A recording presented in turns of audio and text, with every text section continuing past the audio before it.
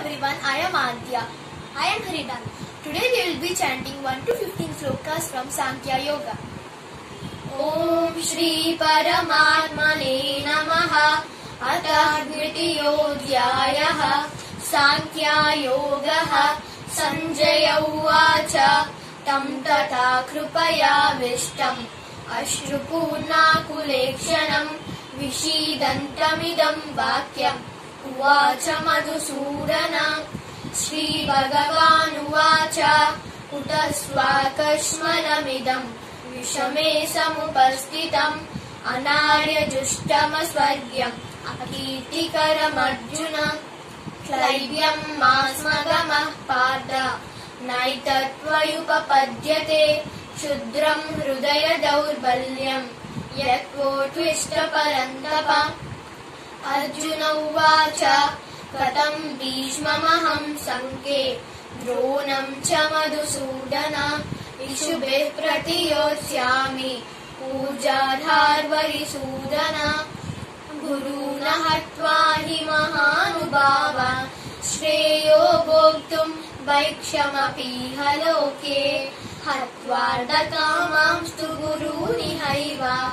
भुञ्जीय भोगान् रुदिरप्रदिग्धान् न चैतद्विद्मः कटरन्नो गरीयो यद्वा जयेम, यदि वा नो जयेयुः।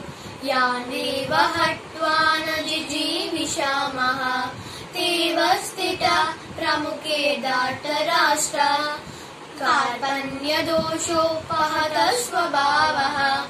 पृच्छामि त्वाम् धर्मसमूढचेता। यश्रेयस्यानिश्चितम् ब्रूहि तन्मे। शिष्यस्तेऽहम् शाहि माम् त्वाम् प्रपन्नम्। न हि प्रपश्यामि ममापनुद्यात्। यच्छोकमुच्छोषणमिन्द्रियाणाम्। अवाप्य भूमावसपत्नमृद्धम् राज्यम् सुराणामपि सञ्जय उवाच। एवमुक्त्वा ऋषिकेशः। गुडाकेशः परन्तप। न योत्स्य इति गोविन्दम्। उक्त्वा तूष्णीम् बभूवः। तमुवाच ऋषिकेशः। ग्रहसन्निव भारत। सेनयोरुभयोर्मध्ये विषीदन्तमिदम् वचः। श्रीभगवानुवाच।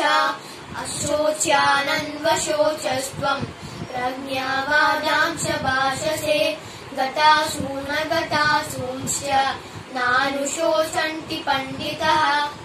न त्वेवाहम् जातु नासम् न त्वम् नेमे जनाधिप न चैवा न भविष्यामः।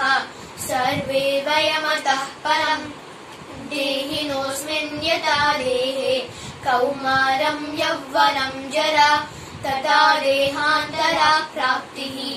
धीरस्तत्र न मुह्यति मात्रा स्पर्शास्तु कौन्तेय। शीतोष्णसुखदुःखदा आगमापायिनो नित्याः।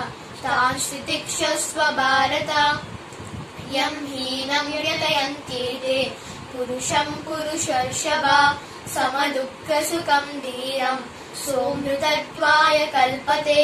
ॐ शान्तिश्शान्तिश्शान्तिः